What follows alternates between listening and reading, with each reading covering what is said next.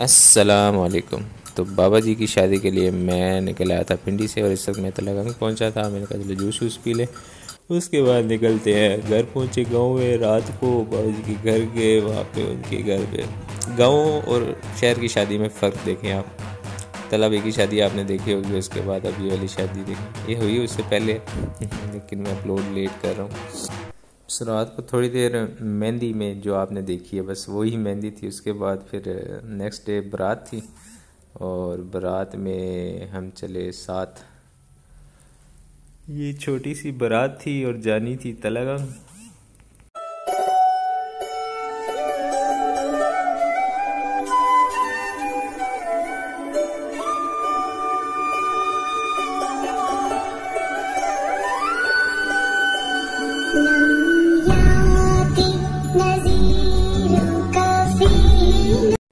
आठ साढ़े आठ निकाह का टाइम था। ये हमारे दुल्हे मियाँ बाबा जी हमारे छोटे सारे।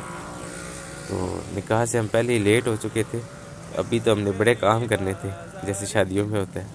बाबा जी के कपड़े इस्त्री करवाने थे दोबारा ख़राब हो गई थी इस्त्री। बाबा जी ने नाश्ता नहीं किया था उनके लिए हमने केक पेश किया। सर। दुल्हे मियाँ को नाज नाज नखरे उठाए इनके थोड़े से। गाड़ी तैयार करवाई।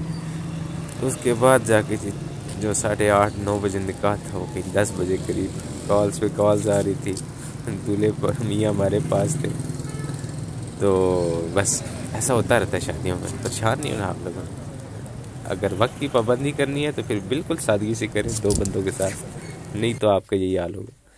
उसके बाद ये निकाह हो गया। निकाह के बाद मैं अम्मा जी के घर पहुँच गया और अम्मा जी के घर मैंने मारा छापा। लगी थी मुझे भूख। शादी वाले घर से हट आया और साथ ही हमें मिल गई रोटी और दाल साथ में। हमने कहा चले जी फ़िलहाल गुजारा करते हैं इसी के साथ। यहाँ पे कोई भी नहीं था। हमने दाल रोटी खाई और मज़ेदार वाला एक छोटा सा साइन बनाया हमने।